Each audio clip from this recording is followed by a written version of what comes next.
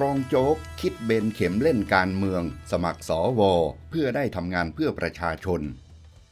พลตำรวจเอกสุรเชษฐ์หักพานยัน ลูกน้องไม่ได้ปลดป้ายชื่อหน้าห้องทำงาน ลั่นใครทำก็รับกรรมไป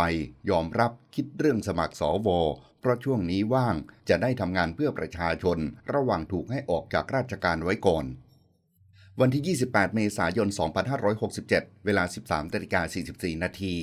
Daily News ออนไลน์ รายงานว่า เมื่อวันที่ 28 เมษายน ที่สมาคมชาวปากใต้ในพระบรมราชูปถัมภ์พลตรเอกสุรเชษฐ์หักพาน อดีตรองผู้บัญชาการตำรวจแห่งชาติ ในฐานะนายกสมาคมชาวปากใต้ในพระบรมราชูปถัมภ์ให้สัมภาษณ์หลังเสร็จงานรดน้ำผู้สูงอายุ ถึงประเด็นที่มีกระแสข่าวว่า คนที่ปรดป้ายชื่อพลตรเอกสุรเชษฐ์ออกจากหน้าห้องทำงานสำนักงานตำรวจแห่งชาติเป็นลูกน้องของตนพลตรเอกสุรเชษฐ์ยืนยันว่า ลูกน้องไม่ได้ปรดป้ายหน้าห้องทำงาน และชื่อในเว็บไซต์แน่นอน เพราะเมื่อตนทราบคำสั่งให้ออกจากราชการไว้ก่อน เมื่อวันพฤหัสบดีที่ 18 เมษายน และในวันที่ 19 เมษายน ตนก็ให้ลูกน้องเข้าไปเก็บของในห้องทำงาน เช่น เอกสารส่วนตัว พระพุทธรูป รวมถึงคืนรถประจำตำแหน่งทันที เพราะตนเป็นคนมีวินัย ทั้งที่จะไม่คืนก็ได้ เพราะยังมีสถานะเป็นรองผู้บัญชาการตำรวจแห่งชาติอยู่ เมื่อถามว่าจะตามหาคนปรดป้ายชื่อหรือไม่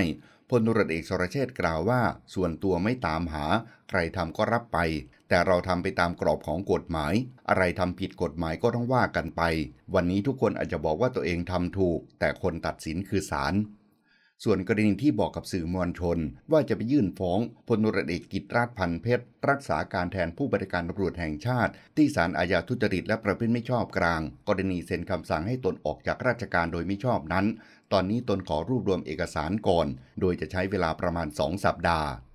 ส่วนประเด็นที่มีกระแสข่าวว่าจะลงสมัครสมาชิกวุฒิสภาหรือสอว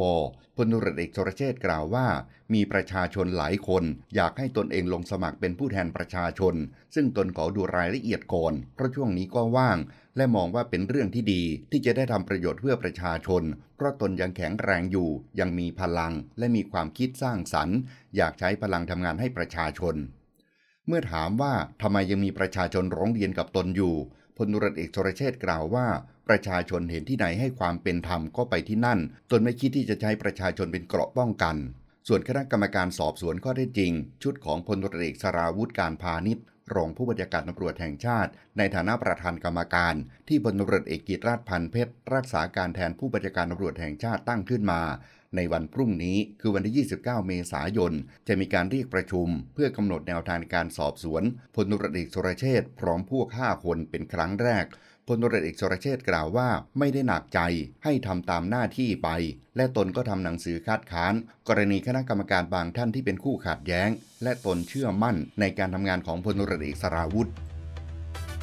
เปิดภาพชัดเจน ลูกน้องรองโจ๊กเสียเองที่ปลดป้ายชื่อ หลังขึงขังจะฟ้องคนปลดวันที่ 26 เมษายน 2567 เวลา 20นาฬิกา36 นาที ทีมข่าวอาชญากรรม ผู้จัดการออนไลน์ รายงานที่สำนักงานตำรวจแห่งชาติ แหล่งข่าวภายในสำนักงานตำรวจแห่งชาติ เปิดเผยถึงกรณีที่พลตรวจเอกสรเชษฐ์หักพาน รองผู้บัญชาการตำรวจแห่งชาติ แถลงต่อสื่อมวลชนว่า รักษาการแทนผู้บัญชาการตำรวจแห่งชาติ ได้สั่งการให้ถอดป้ายชื่อนั้น ล่าสุด หน่วยงานที่รับผิดชอบดูแลอาคารสถานที่ ได้มีการตรวจสอบจากกล้องวงจรปิด ภายในอาคารหนึ่งส่วนหน้าพบว่า วันที่ 20 เมษายนที่ผ่านมา กล้องวงจรปิดที่ส่องตรงทางเข้าออกประตู สามารถจับภาพบุคคล จับกลุ่มยืนคุย และมีการขนของออกจากสำนักงานของพลรเอกสรเชษขึ้นรถที่จอดอยู่บริเวณด้านนอก โดยมีไทม์ไลน์ดังนี้ เวลาศูนย์นาฬิกา 32 นาที ชายหนึ่งคน ถือกล่องสองใบ และหญิงสองคน เดินออกไปจากสำนักงาน เวลา8นาฬิกา44 นาที กลุ่มชายประมาณ8ถึง10 คนยืนคุยกัน ก่อนเริ่มขนของออกจากสำนักงานไปที่รถบรรทุก 6 ล้อ มีคอนเทนเนอร์ทึบ ทะเบียน 85ขีด8684 กรุงเทพมหานคร รถกระบะฟอร์ด และรถ SUV เชฟโรเลต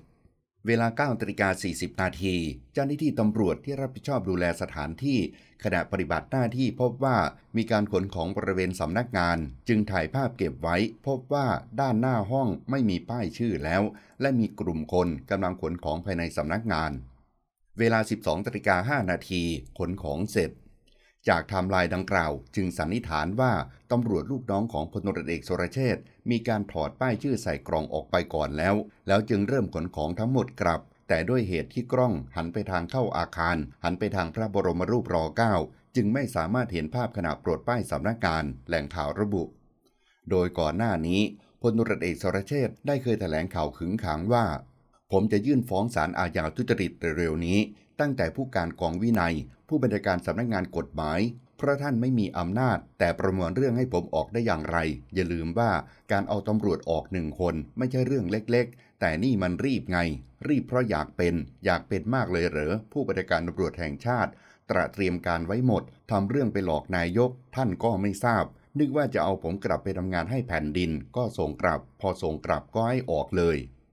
ผมยังเตรียมฟ้องผู้การกองสารสนเทศ และสทศกรณีปลดป้ายหน้าสำนักงานออก ผมถามว่ารองรอยไปตั้งนานแล้วไม่เห็นปลดออกตนได้รับความเสียหายเสื่อมเสีย เพราะขณะนี้ยังไม่มีการโปรดเกล้าให้พ้นจากตำแหน่ง ยังเป็นรองผู้บัญชาการตำรวจแห่งชาติ จะมาโปลดป้ายหน้าสำนักงาน ถอดชื่อออกจากเว็บไซต์ได้อย่างไร กระเฮี้ยนกระหือรือ อยากเป็นมากหรือผู้บัญชาการตำรวจแห่งชาติ ผมต้องสอนเลยว่ามวยมันคนละชั้น ผมเจอมาเยอะ เพราะฉะนั้นเรื่องนี้ไม่ได้แอมผมหรอก ขอเตือนไว้ก่อน คุกรออยู่แน่นอน ท่านเหลือเวลาอีกสองปี ต้องสู้อีกยาวนาน แต่แล้วเมื่อสำนักงานตำรวจแห่งชาติได้ออกมาเปิดเผยว่าผู้ที่ปลดป้ายชื่อหน้าสำนักงาน กลับเป็นลูกน้องของพลตรเอกสรเชษเสียเอง กลายเป็นเรื่องโอลาพ่อทำให้ตัวเองเสียรางวัลไปอีกครั้ง